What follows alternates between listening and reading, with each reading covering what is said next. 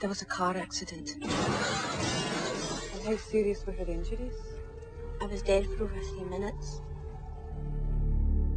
When I died, I saw a light, a bright light like a tunnel. I